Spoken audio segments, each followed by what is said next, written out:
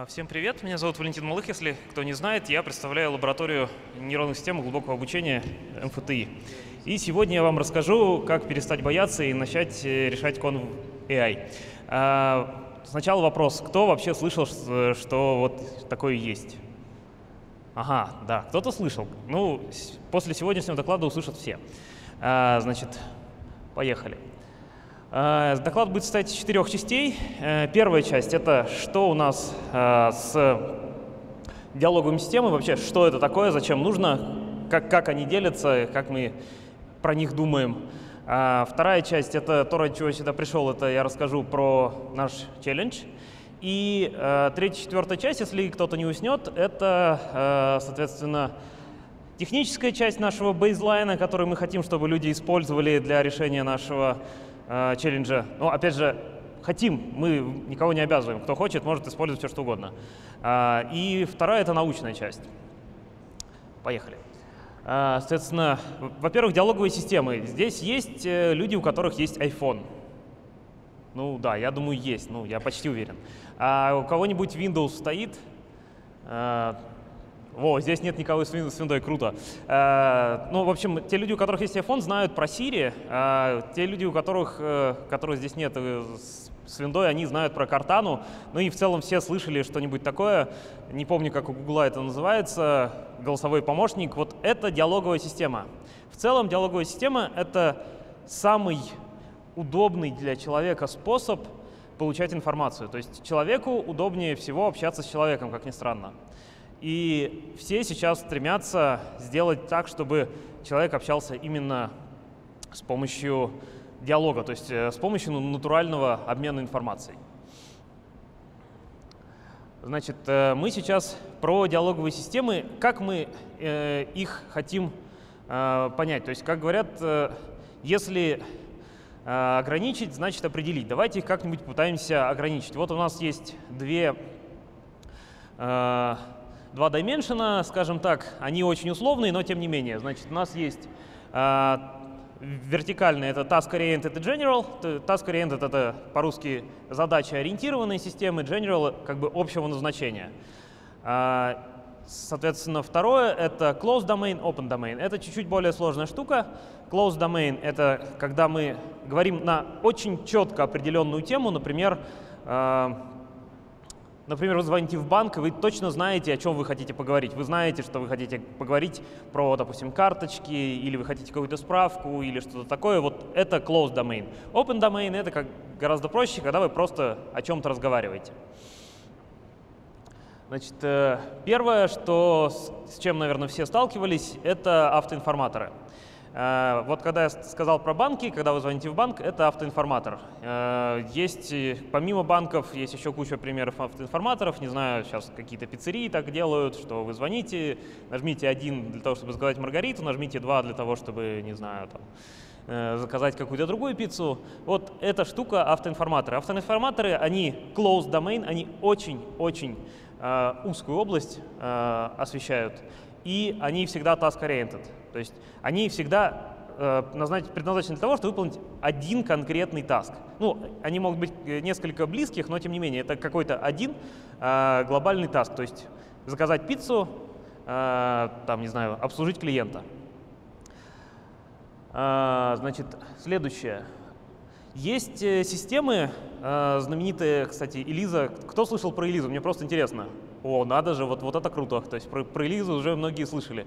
Для тех, кто не слышал, Элиза — это такой, э, такая шутка времен 50-х годов, э, примерно э, психиатр э, в виде чат-бота. Э, совершенно прекрасная вещь. Э, если вы хотите получить настоящий психоанализ, обязательно напишите Элизе, она вам очень поможет. Э, значит, э, она является нашей Элиза General, то есть с ней можно говорить о чем угодно но в то же время она э, является э, closed domain, то есть она говорит на определенную тему, и это психоанализ. То есть она пытается как-то интерпретировать, ну, опять же, как-то интерпретировать, это нужно понимать, что это все чистый рандом, там нет никакого интеллекта. Надеюсь, все это понимают. Э, значит, следующий пример чуть более такой общей системы. Это char RNN от Карпатова Андрея. Все, все, наверное, слышали про Андрея Карпатова и его CharRNN. Это штука, которую, которой вы кормите, например, субтитры от фильма, и она вам может э, как что-то отвечать. То есть она может вам генерировать, не знаю, э, вы ему пишете «привет», э, она отвечает «хорошо», на улице солнышко и там всякое такое. То есть это абсолютно бессмысленный диалог, но тем не менее его можно провести. И это довольно забавно. Если непонятно, что это за картинка, это картинка из э, его статьи э, Unreasonable Effectiveness of RNNs. Э, если кто-то не видел, очень рекомендую, там много всего интересного. Сейчас внезапный лобстер. Внезапный лобстер — это наш ConVI, я сейчас про него немножко расскажу. Чем он отличается от всего вышеназванного? Он является task-oriented, то есть у нас есть конкретный таск, который мы хотим сделать, я расскажу какой. И второе, он является open domain, то есть э, вы можете говорить в принципе на любую тему, но тем не менее э, задача в этом челлендже, чтобы вы выполняли определенный таск. Ну и, соответственно, последнее, э, по, конечно, по порядку, по значению, это True AI. Тут был вопрос, почему True AI, потому что сейчас AI называют все, что не попадя, там, не знаю, те же автоинформаторы называют AI, я считаю, что это профанация, но в целом ладно. А, значит, тем не менее, вернемся к лобстеру. А, значит, что такое conv AI? Здесь есть ссылка, там есть а, все подробно. В целом, что важно, это действительно task-oriented, и это open domain. Это on general in open domain sense.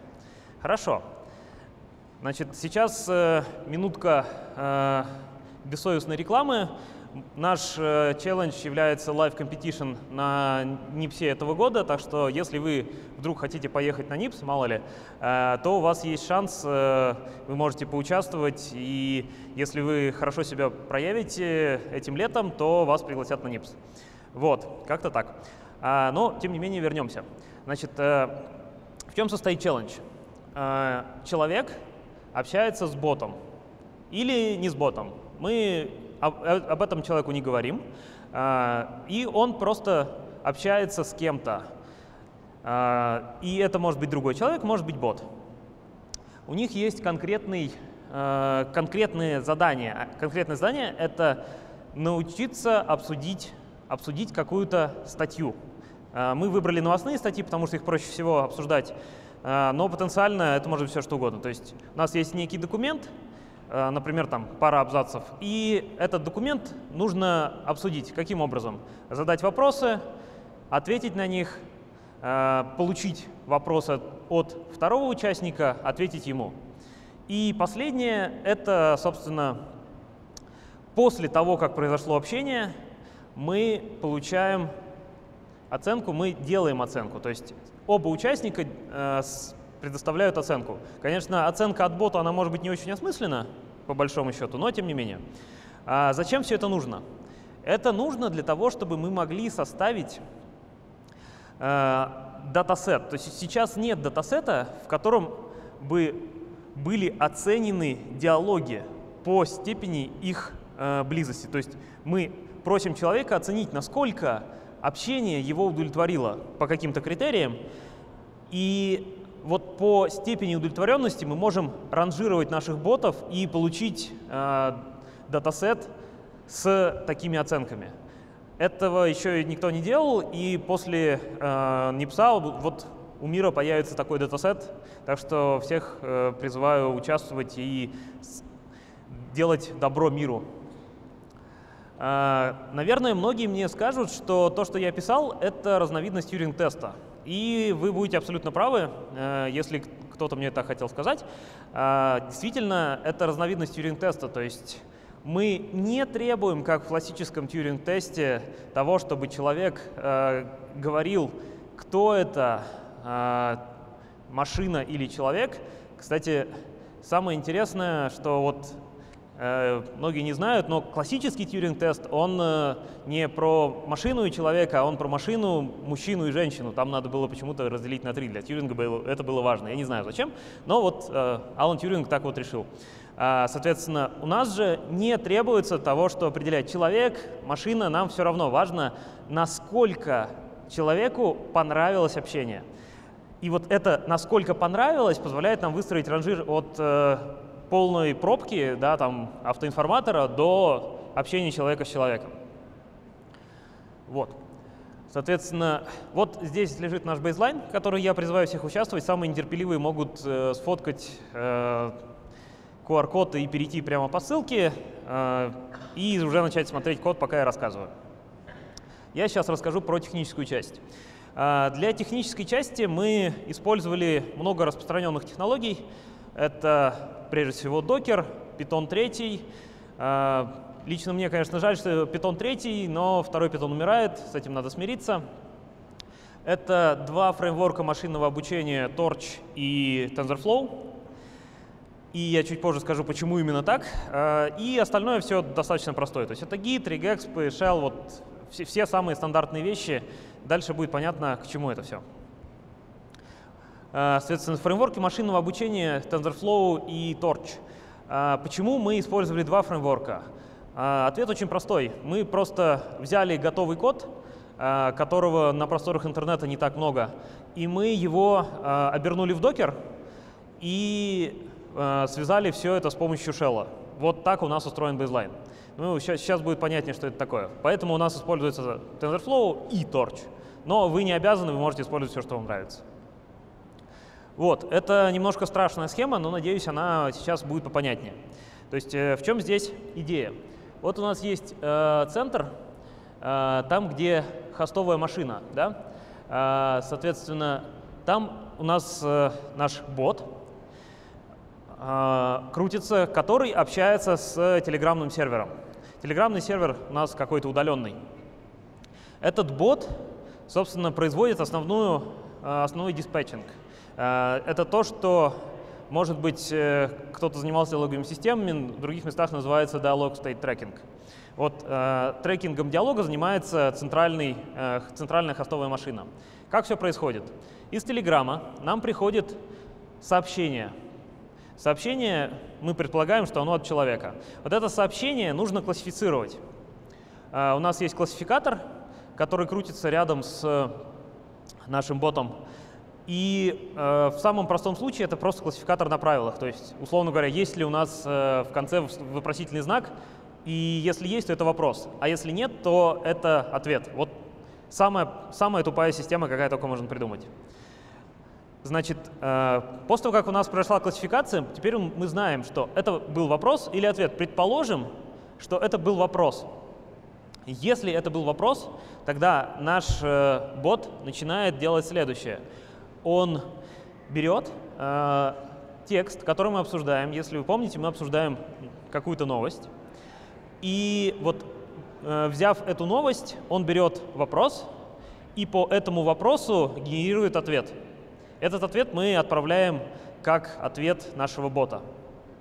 Взаимодействие с э, Question Answering System э, сделано через shell. То есть мы запускаем в докере и через shell гоняем туда-сюда данные. Так как данных там 3 копейки, э, собственно, одно предложение вопроса и ответ э, там, меньше предложения, то это работает нормально и ничего больше не требуется. Соответственно, более интересный случай, когда у нас не вопрос был, а был ответ.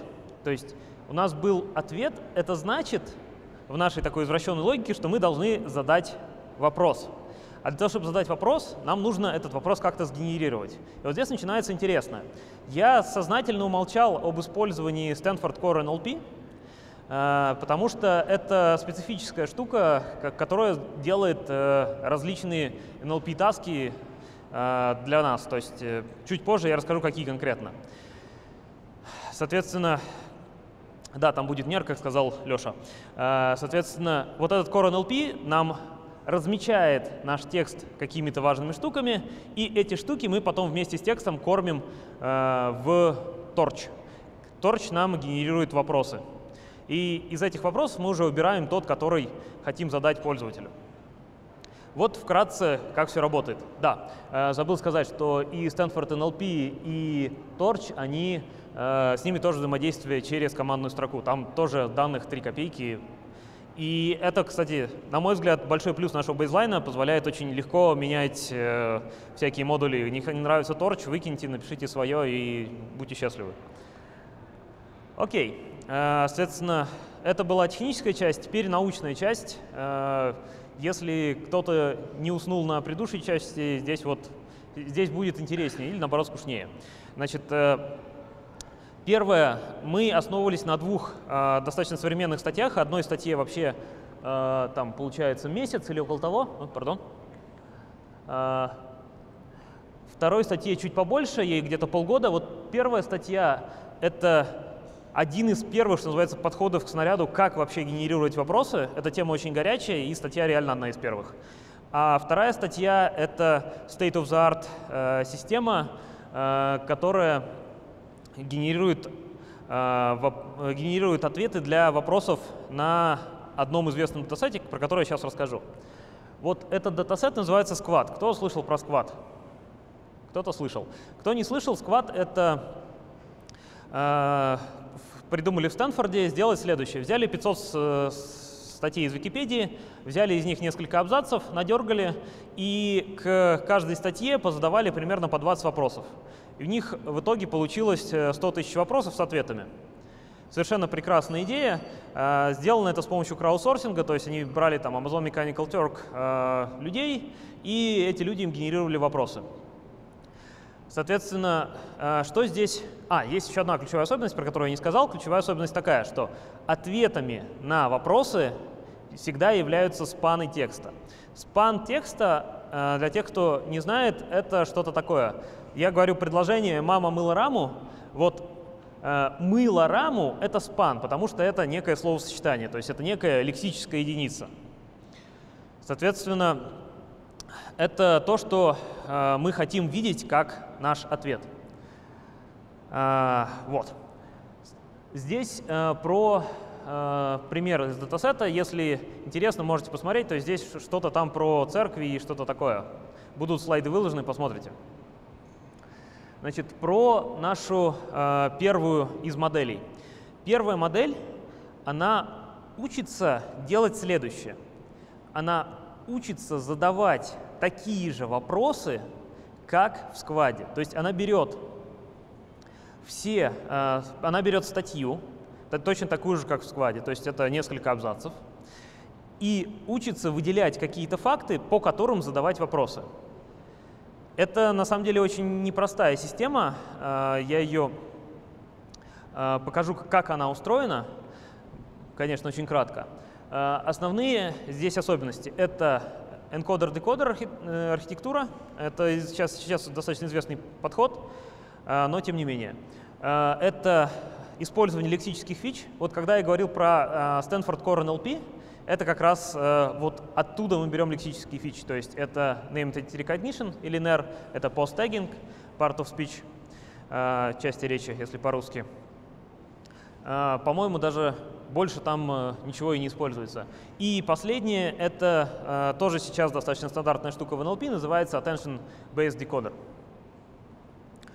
Э, здесь на слайде приведен пример энкодер-декодер архитектуры для Machine Translation. То есть, что происходит? Мы берем наши слова, эмбедим. Кстати, кто знает, что такое word embedding? Кто, кто слышал про word to? Если не знаешь, что вот такое word embedding, больше рук, хорошо. Значит, word to это word embedding, если что. Э, соответственно, мы берем э, какой-то word embedding, кормим его в нашу сеть, и сеть последовательно считывает слова. У нее есть какое-то внутреннее состояние. То есть мы скормили одно э, слово, у нее есть одно состояние. Скормили второе слово, взяли состояние с предыдущего шага, изменили его. И так мы доходим до конца предложения. Вот дошли до конца предложения, и у нас есть последнее состояние. Вот это последнее состояние, оно э, как раз про э, то, что мы думаем, что там сосредоточены все знания сети о предложении. И мы считаем, что это состояние должно быть затравочным для генерации э, декодера. То есть декодер принимает состояние энкодера в конце и начинает генерировать что-то свое. Ну вот здесь это про что-то там вкусный соус, по-моему. Соответственно, вот картинка из статьи. Как мы видим, а, основное, что здесь есть, это то, что у нас Word Embedding немножко более сложный. Синенькая — это тот Word Embedding, который можно считать Word веком для простоты.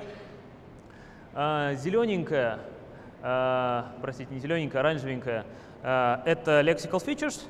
И неупомянутая мной Answer Position Feature — это про то, что где у нас начинается и кончается э, наш от, ответ. То есть мы размечаем в тексте спаны и просто знаем, в какой позиции начинается ответ. То есть идет предложение, там, мама мыла раму, вот мы знаем, что мыло — это начало нашего ответа.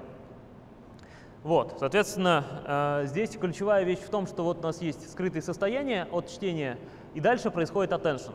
Э, кто здесь слышал про attention?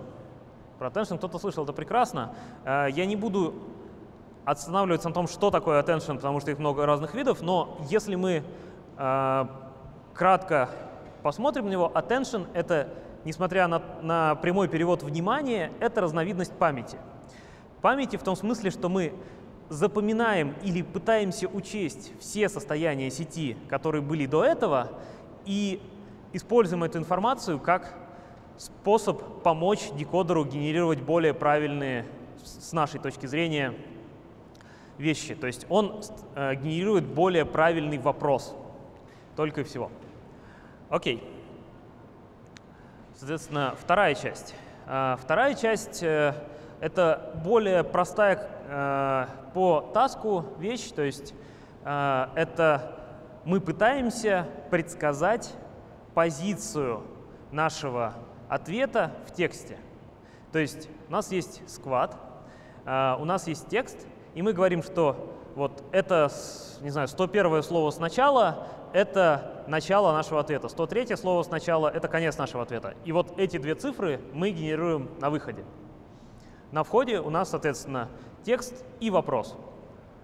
Ключевые особенности — а, это использование Word эмбеддингов и char эмбеддингов. Сейчас я расскажу, что это за char эмбеддинги. Это использование attention flow. Это вот то, что а, на самом деле составляет основную суть этой работы. А, самое сложное, что здесь есть. Это некий markup layer, который, собственно, простите, не markup, моделинг, моделинг layer, который, в общем-то, является основной, как сказать, очень простой концептуальной штукой, но они его э, преподносят как какую-то важную вещь, поэтому я про него расскажу. Э, сначала про э, character embedding. Word embedding остались такие же, как были. А character embedding — это когда мы берем э, каждое слово, у него есть буковки, каждой буковке мы приписываем какой-то вектор, точно так же, как для слова, и потом на этих векторах мы делаем свертки. Мы делаем свертки, как э, в настоящих сверточных сетях. Получаем какую-то новую матрицу, делаем max-pooling, получаем вектор, и на выходе э, у нас у слова получается один какой-то вектор. Вот, вот э, что такое char embedding в данном случае. Это не всегда обязательно так, но в данном случае это так. Вот. А вот эта самая страшная картинка, э, которую я сегодня буду показывать, это, э, собственно, тут ее можно поделить на две части. Это э, то, что архитектура самой сети, и справа это отдельно attention flow. Attention flow — самая сложная вещь в данном случае. И давайте начнем снизу. Снизу у нас есть word embedding, в данном случае это Glove, а не word to vec, но это совершенно не важно.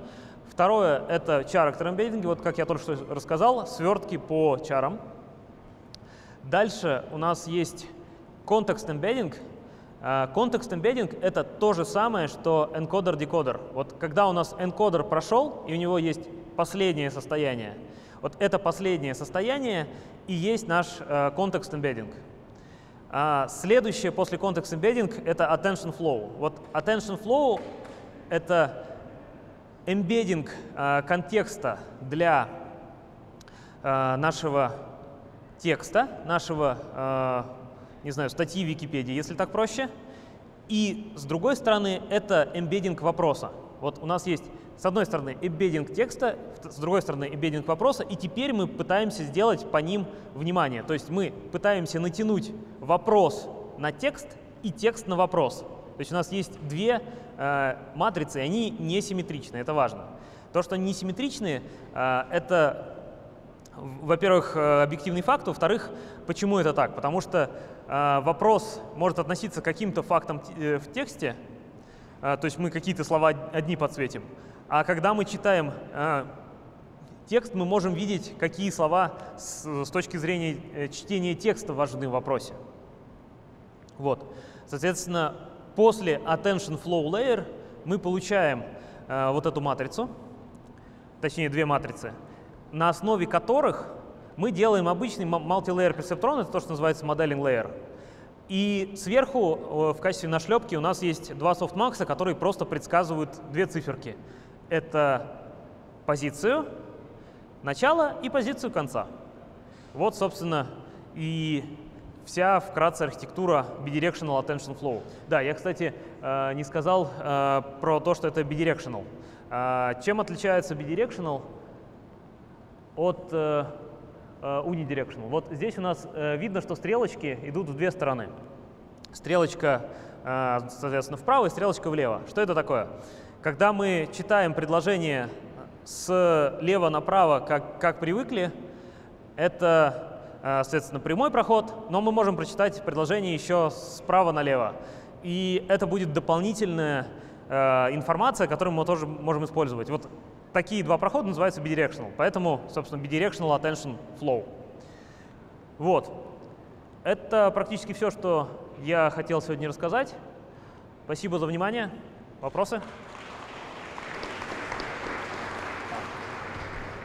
И вижу первый вопрос. Виталий, большое спасибо тебе за замечательный доклад. Вас не слышно, простите. А сейчас слышно?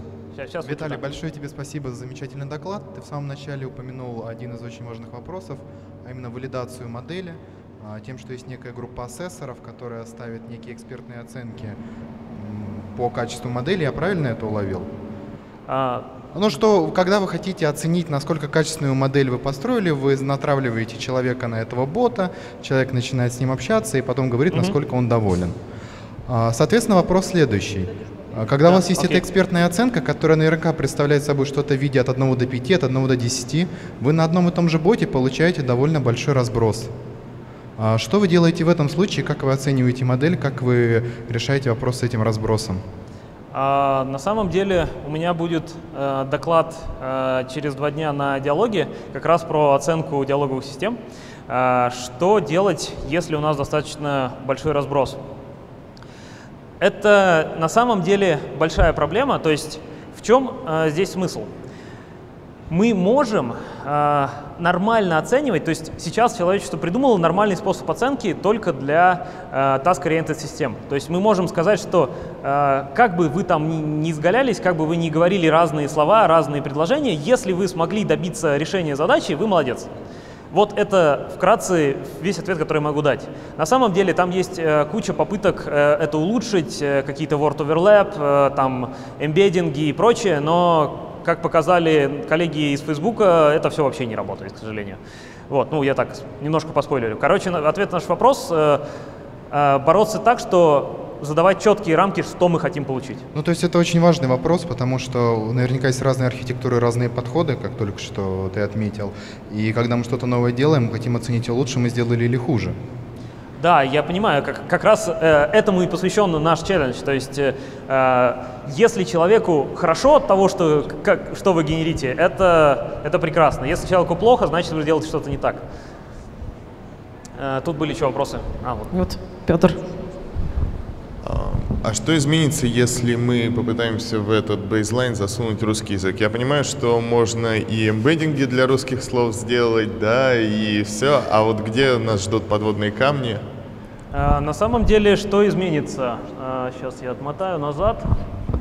А, изменится, ну, по факту изменится не так много чего. Нам просто нужно чем-то заменить э, наш вот Стэнфорд э, NLP. Честно сказать, Стэнфорд NLP э, для русского языка, пожалуй, можно заменить э, MyStem. Э, ну, в каком-то виде, по крайней мере. То есть там MyStem умеет не все, он как минимум не делает NER, э, но NER можно написать на коленке. Я сам писал, э, в принципе, за вечер какой-то NER пишется. Э, соответственно, самое сложное для русского языка — это, как ни странно, морфология. Ну, я думаю, что это очевидно всем. И в этом смысле э, как раз, что хорошо, э, свертки по character, по буквам, они очень сильно помогают. То есть э, всю нашу морфологию мы можем учесть за счет этого. Соответственно, если мы поменяем Stanford на MyStem э, и будем совать русский текст немного более хитрым способом, то есть подавать и лемму, и э, конкретную, э, ну, и само слово, то кажется, что вот с помощью такой нехитрой допилки мы уже что-то получим. Как-то так. И еще вопрос здесь был. А он там девушку еще хочет. Ну ладно. Э, Спасибо за доклад. Меня зовут Анатолий. У меня много вопросов, но э, вот самую сложную, которую схему вы показывали, это из статей, которые вы вот до этого просто, да, то есть вы там Мгм. не придумали что-то свое, да? В основном А. можно просто прочитать статьи, если- и там все будут ответы, да? Или А, да, ну то есть я здесь не брался рассказать статью целиком, потому что, ну, как бы здесь э, это и не нужно для бейзлайна. То есть для того, чтобы применить бейзлайн, вам не нужно понимать эту статью, вам достаточно просто его запустить. Мы специально потратили время для того, чтобы можно было просто нажать setup, а потом нажать run, и оно заработало. А, соответственно, а в статье, да, в статье очень много всего, и я бы сказал, что можно начать, э, если хочется делать что-то свое, с более простых вещей, вот того, с того же э, encoder-decoder, то есть seq2seq какая-то архитектура. А, Вот. од- Одно такое уточнение все-таки вот по поводу всех embedding ов. То есть вы одновременно берете embedding слова, кон- конкатенируете с э, вектором, э, который получили из char RNN, да, и еще туда добавляете э, lexical features и answer position, да, то есть получается Да. такой вот этот вот это все вектор объединенный, да, и вот это уже подаете там на LSTM, так далее. Да, так, да, да? Спасибо. Ну, то есть э, здесь, здесь именно в этом смысл, что они добавляют э, к word embedding доп- дополнительные вещи. Ну, и по моим вот э, экспериментам это действительно помогает. То есть э, добавление какого-то, ну, NER не очень сильно, кстати, вот я не замечал, что он сильно помогает, а вот пост-теггинг, он прям реально добавляет качество, там можно вы- выиграть процент другой. Слушаю вас. Еще был вопрос.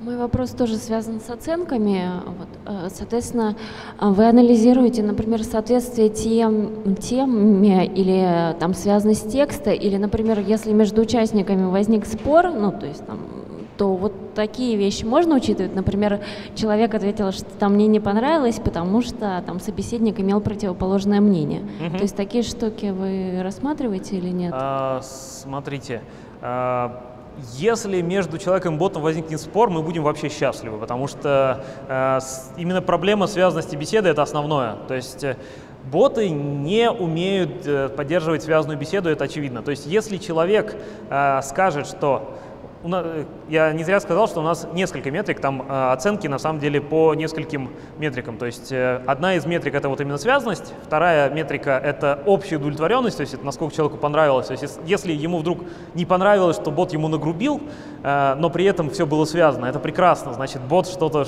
может человека оскорбить, это, это уже половина дела. А, Соответственно, и там есть что-то еще, то тоже какая-то какая оценка. То есть мы, мы постарались учесть именно вот такие вещи, да, что э, главное это связанность, конечно. Но если человеку по- понравилось общаться с ботом э, и при этом он был не связан, это тоже нормально. То есть мы хотим максимизировать счастье человека, чтобы боты стали более, более приятны для общения. Это основная проблема. Д- давайте с микрофоном только. Еще вопросы были до этого. А, то есть, а как вы определяете? У вас же это автоматически вы... а, с- Еще раз, сейчас.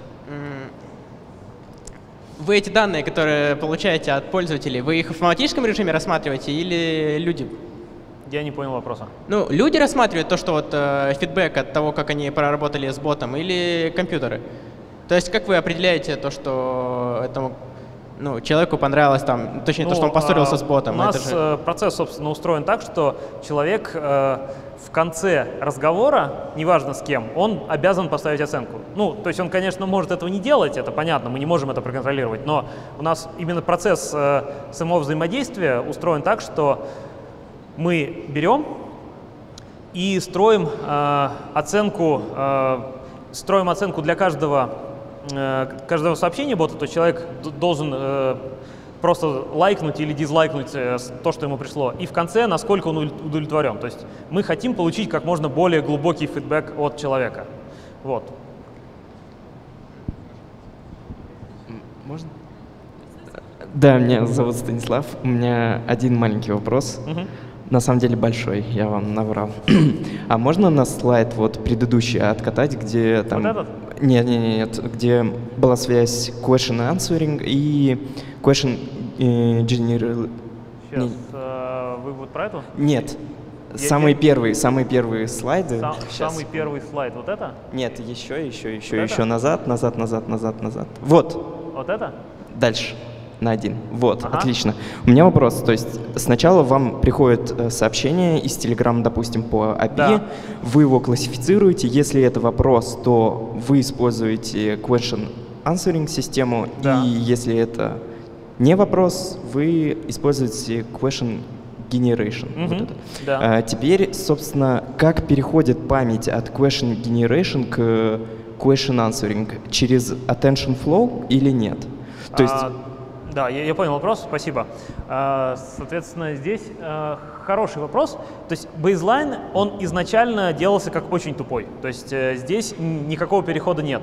Но, конечно, мы предполагаем, что хорошее решение будет учитывать. То есть у нас есть а, такая часть, как с, с Dialog State Tracker. Вот этот State Tracker, он как раз должен помнить, что было сказано, э, как сказано. Ну, в бейзлайне там э, есть сохранение вс- всех реплик, то есть э, если вы посмотрите, мот- посмотрите код, там уже сделано задел под это, да, то есть все реплики сохраняются, вы всегда можете посмотреть, что было.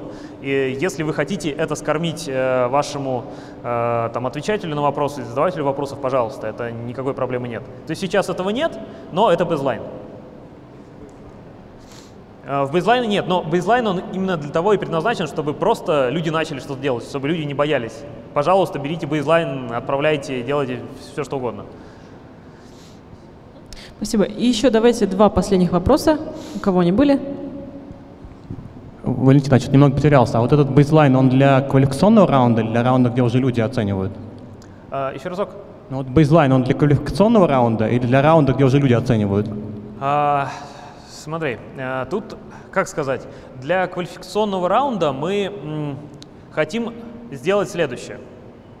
Либо э, команда, которая подается, э, показывает нам как, какой-то результат на скваде или на MS Mark, ну я не стал упоминать про MS Mark, чтобы не загружать, но сквад или MS Mark. Если вы умеете отвечать на вопросы вот, на одной из этих систем по, лидеру- по лидерборду, то этого уже достаточно. Либо вы делаете, э, соответственно, какого-то разговорного бота. Вот чтобы а, упростить делание разговорного бота, мы выпускаем э, бейзлайн. То есть, э, наверное, мы сможем распознать свой бейз- бейзлайн, насколько он там плохой. Да? То есть, если вы захотите с нашим бейзлайном поучаствовать, я не против, но вам нужно будет чем-то подкрепить еще. То есть вот есть бейзлайн, но вам нужно в любом случае написать, а что вы планируете сделать. Э, И, соответственно, допустить мы, конечно, наверное, допустим там более-менее всех, но как бы human evaluation всегда отберет лучших. А, а у этого бейзлайна есть какие-то а, а, ну, оценки, которые уже как-то, не знаю... Нет, пока еще оценок нет, у нас пока еще не было human evaluation, он будет летом. Спасибо большое. Если есть еще последний, самый последний вопрос. Нет, есть. есть снова Станислав. А, Еще один вопрос по поводу, э, собственно, классификации на вопрос и не вопрос. Ага. Нужно ли прикручивать какую-то какую-то исправлялку? Дело в том, что дело в том, что люди зачастую э, пишут неправильно и ошибаются даже в вопросе. Тоже хороший вопрос. А, на самом деле а, сейчас это сделано совсем тупо, а, просто вот на правилах. Да? А, я рекомендую, скажем так, сделать такую классификатор более умным. То есть э, с шумом, чтобы там были опечатки, чтобы он вам, э, у вас был настоящий классификатор, а не вот, вот просто на правилах. А, соответственно, тут вопрос в том, что, наверное, классификатор я бы вот, если бы я делал этот челлендж, я, к сожалению, не имею права, но вот, э, я бы тогда классификатор учил э, совместно, как мультитаск вместе с, э, ответом на вопросы или с генерацией э, вопросов, вот как, как мультитаск бы учил, вот, я бы так сказал. Хорошо, спасибо. Спасибо большое, Валентин. И давай тоже выберем а, лучший вопрос. Есть у тебя какой-то прям А, самый лучший- классный? Лучший вопрос. э, э, Наверное, вот Станислав, он за- задал два вопроса, они были очень хорошие, да. Ну, Мне, А, у мне него, кажется, у него, а, у него уже же есть эта штука, да, черт, ему, не, ему нельзя, да. А, не, в смысле, можно, но зачем ему две? ну А, да. Давайте выберем кого- кого-нибудь еще. Вот, э, вот, вот этому человеку в шапке. в шапке. Как вас зовут, из какой вы компании? Хороший вопрос. Меня зовут Ильдар. Очень приятно. Спасибо.